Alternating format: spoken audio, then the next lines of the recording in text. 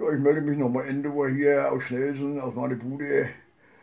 So, äh, herzlichen Glückwunsch, Sonny Kittel. Sonny ist gestern Vater von einer gesunden Tochter geworden. Sonny, ich drücke dir alle Daumen. Also, du hast heute auch ein gutes Spiel gemacht, aber vielleicht waren die Nächte auch ein bisschen, lang für dich und die werden jetzt noch kürzer. Du weißt, wenn die, wenn äh, die Mädchen schreien mehr wie die Jungs. Sonny, alles Gute für dich und deine Frau und wir sehen uns wieder beim Training. Alles Gute, tschüssi. Alles klar. ich, ich freue mich für dich alle. Alles Gute, tschüssi.